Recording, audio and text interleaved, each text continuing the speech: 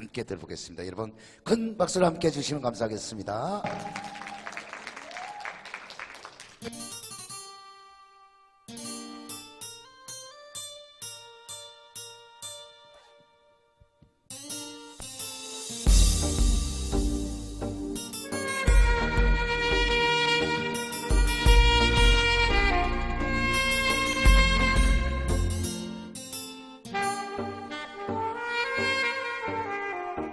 thank you